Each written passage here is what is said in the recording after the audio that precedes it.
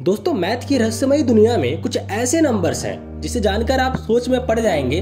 कि क्या ऐसा भी हो सकता है। ऐसा ही एक नंबर है सिक्स वन सेवन फोर जिसे हम काप्रेकर्स कांस्टेंट कहते हैं। अब आप चार डिजिट का एक नॉन रिपीटिंग नंबर सोचिए। जैसे यह एक नॉन रिपीटिंग नंबर है थ्री वन सेवन एट अब इस नंबर को डिसेंडिंग और असेंडिंग ऑर्डर में अरेंज कीजिए तो आएगा eight seven three one one three seven eight अब इसका डिफरेंस निकालिएगा तो आएगा सेवन थ्री फाइव थ्री अब इसका भी असेंडिंग और डिसेंडिंग ऑर्डर निकालिए तो आएगा seven five three three three three five seven अब इसका भी डिफरेंस निकालिए तो आएगा four one seven six now again इसका डिसेंडिंग और असेंडिंग ऑर्डर निकालिए तो आएगा seven six four one one four six seven अब इसका भी डिफरेंस निकालिए तो आएगा सिक्स वन सेवन फोर अब इस नंबर को भी डिसेंडिंग और असेंडिंग ऑर्डर में अरेंज करने के बाद अगर आप सब्ट्रैक्ट कीजिएगा तो आएगा सिक्स वन सेवन फोर ये नंबर ऐसे ही रिपीट होते चलेगा। अब आप अपनी मर्ज़ी से कोई सा भी नंबर लेंगे तो लास्ट में सिक्स वन सेवन फोर ही रिपीट होगा।